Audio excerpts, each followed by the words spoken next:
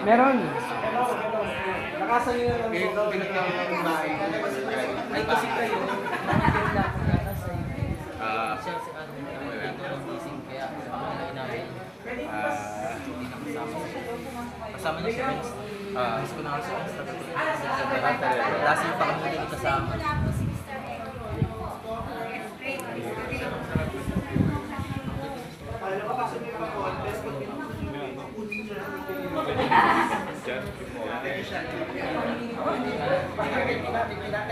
Ah, ito na.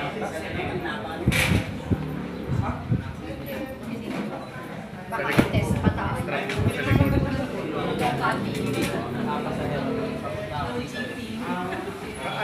Ano nangyari? May quiz pa ako. May quiz ako. Sa Facebook na lang.